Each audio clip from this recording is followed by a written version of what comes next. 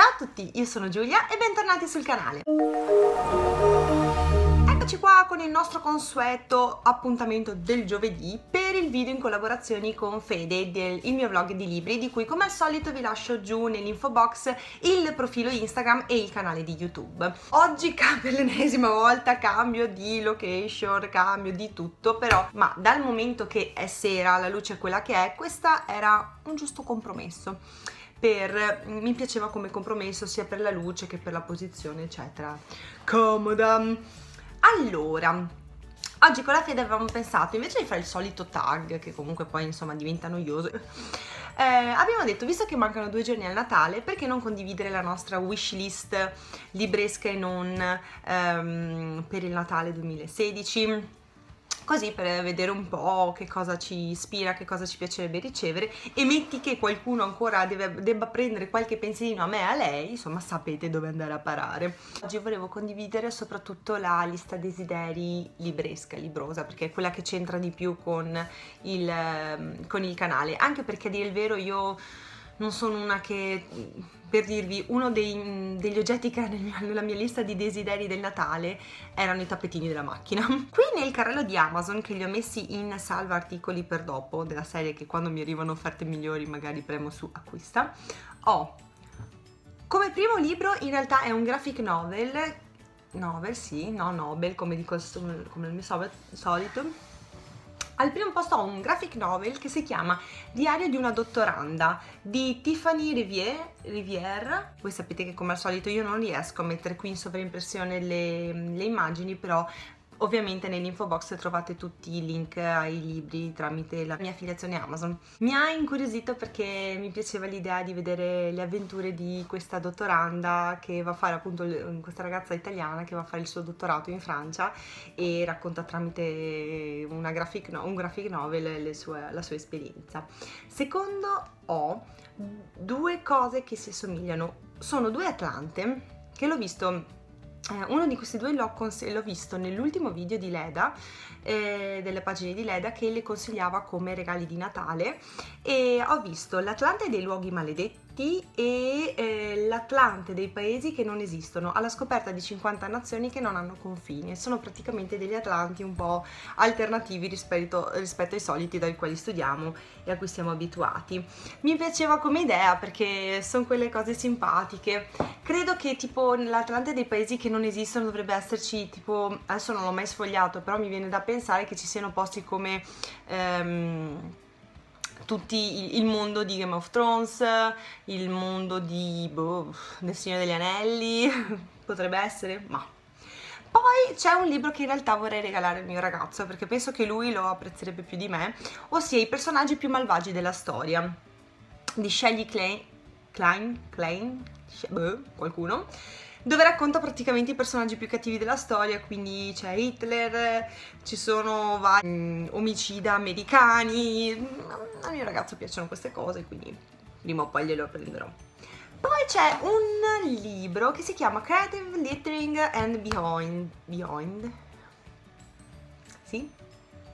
di Gabri Joy King Kendall sono senza occhiali eh, quindi sono molto orba perché ehm, su Instagram soprattutto vedo sempre un sacco di immagini sulla eh, calligrafia, la grafia, tutti questi caratteri strani scritti a mano e mi piacerebbe prima o poi iniziare anche a me solo che è un periodo un po' così, quindi non sapendo da dove iniziare mi, mi piacerebbe avere un libro, un libro guida.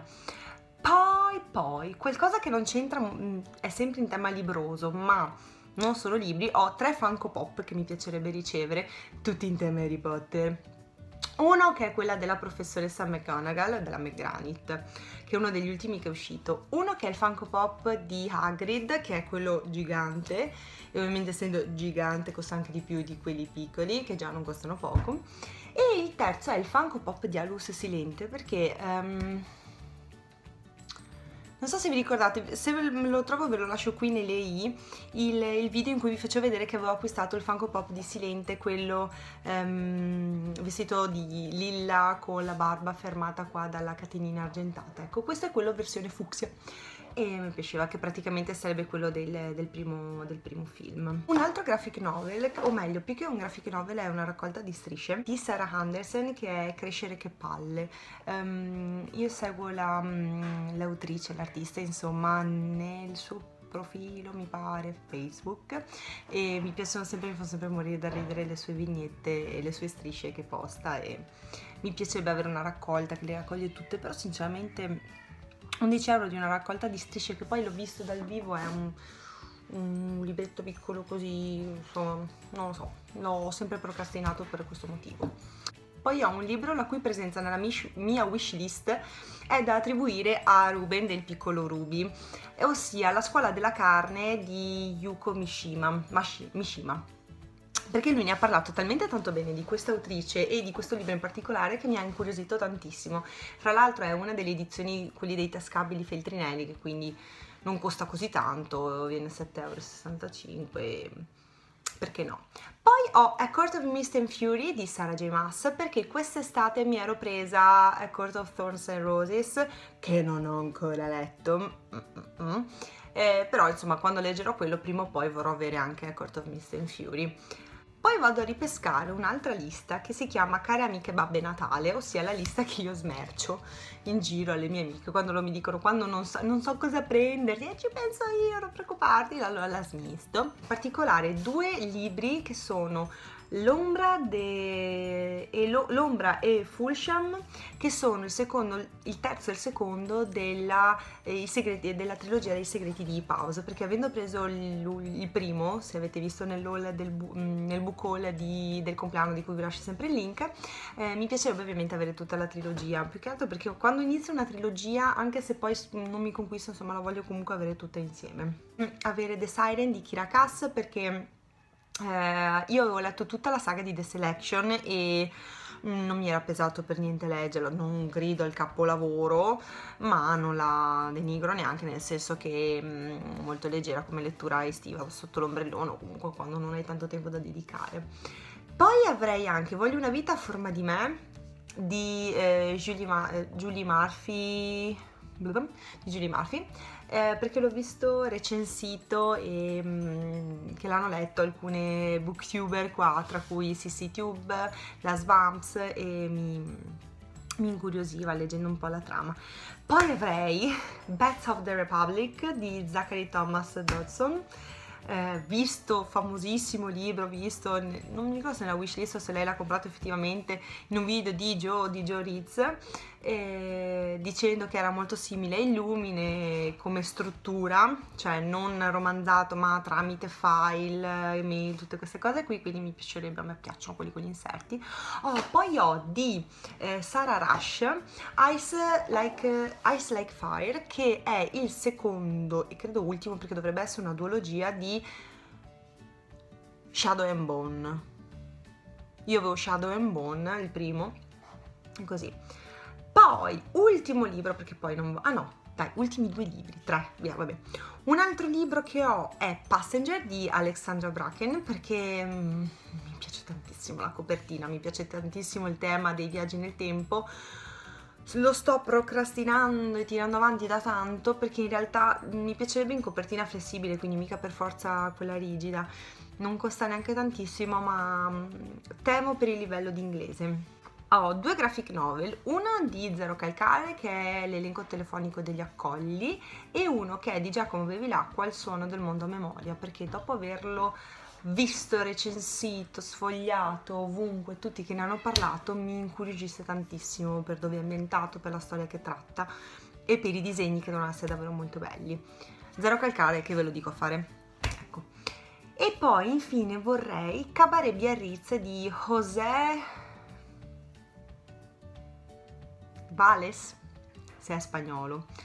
Questo libro um, non mi ricordo bene di cosa tratti e non so neanche se sarebbe il tipo di libro che potrebbe piacermi, però um, mi era arrivata una specie di newsletter dalla Feltrinelli o non mi ricordo da chi eh, che parlava di questo libro e mi aveva incuriosito tantissimo, da allora è sempre rimasto nella mia wishlist.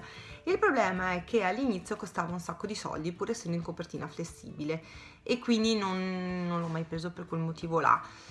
Poi col tempo, vabbè, mi è scemato l'interesse di questo libro, quindi è lì, è fermo, prima o poi lo, lo prenderò e vedremo cosa ne sarà.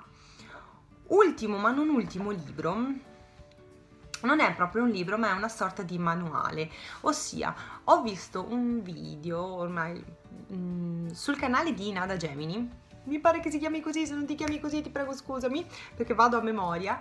Ehm, lui aveva postato, è un, è un, canale che tra parentesi intanto vi consiglio di andare a vedere se volete perché eh, a me piace un sacco.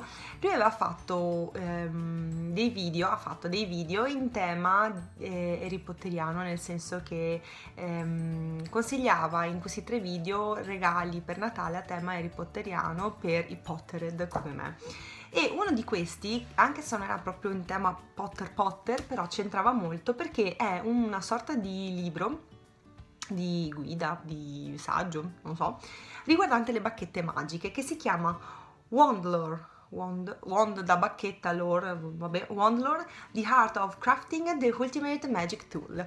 Quindi parla di tutte, mm, è proprio una guida a come eh, vengono create le bacchette, eh, i materiali che si usano, come vengono impregnate, diciamo, di potere, come scelgono il mago e tutto quanto. E così sapete, sono quelle cose carine da tenere. Però costa, eh, intanto è solo in inglese e temo per il livello di inglese che ha e, in più costa un sacco di soldi, porca miseria. Cioè in copertina flessibile costa 19,75 euro. In copertina flessibile, quindi mh, mm, vabbè, diciamo che rimarrà Ecco. Questi diciamo erano i, i, libri in pole position nei primi, cosa ve ne ho detti, 20, 30, non mi ricordo più, della mia wishlist amazoniana. Io ho wishlist solo qua, grazie al cielo, perché se cominciassi a fare wishlist anche da altre parti sarebbe finita, la fine, la fine, la fine. In realtà ho un po' imbrogliato perché la mia wishlist di Amazon conta ben 140 libri, più 15 della lista delle amiche di Care Babbe Natale, più altri 5 in sospeso nel carrello. Quindi sono in tutto 160 libri, capite che se ve li elencavo tutti e 160 stavamo qua neanche fino alla Befana, ma proprio fino a Pasqua. Allora, siccome vorrei dare, fare un video un po' più breve, ecco, questa era la mia wishlist amazoniana. Con questo io vi saluto, vi mando un grosso bacione vi auguro buone feste, buon Natale e vi mando un abbraccio forte a tutti, passatelo in famiglia, vogliatevi bene. Saluto anche la Fede, faccio gli auguroni a lei di persona, visto che la nostra collaborazione continua ad andare avanti nonostante le sue mille peripezie. Fra parentesi, Fede ti mando un bacione ti faccio un, davvero un complimentoni enormi per la laurea, ho visto le foto, sei stata bravissima perché lei ha discusso pure la tesi questa settimana, io sono così col lavoro, però non importa, noi teniamo botta. Quindi ci vediamo giovedì prossimo per un altro appuntamento insieme. Giù nell'info box come al solito trovate i link ai miei social, il canale e il profilo Instagram di Fede e tutti i link ai libri per acquistare da Amazon tramite il mio link di affiliato. Ci vediamo al prossimo video e buona serata a tutti. Ciao!